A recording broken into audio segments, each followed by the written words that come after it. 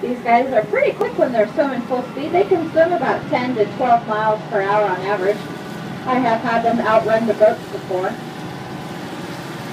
They do that porpoising behavior. And that rooster tail effect, the water streaming off of their dorsal fin when they surface very quickly like this. And there they go.